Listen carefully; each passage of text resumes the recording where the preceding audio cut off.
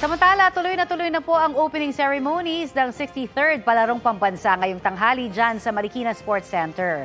Sisimulan po ang mga aktibidad sa isang parada na kabibilangan ng mga student athletes at trainers mula sa labing pitong rehiyon. Inaasahan din po ang pagdalo ni Vice President at Education Secretary Sara Duterte at President Bongbong Marcos sa program. Ayon sa Marikina LGU at Department of Education Marikina, bukas po sa publiko ang seremonya mamaya sa Marikina Sports Center. May concert, drone show at pyro musical show na po pwedeng mapanood ng libre. Maging updated sa mga maiinit na balita, maaari pong mapanood ang Balitang Hali at iba pang award-winning newscast sa youtube.com slash GMA News. I-click lamang ang subscribe button. Sa mga kapuso abroad, maaari po kaming masubaybayan sa GMA Pinoy TV at www.gmanews.tv.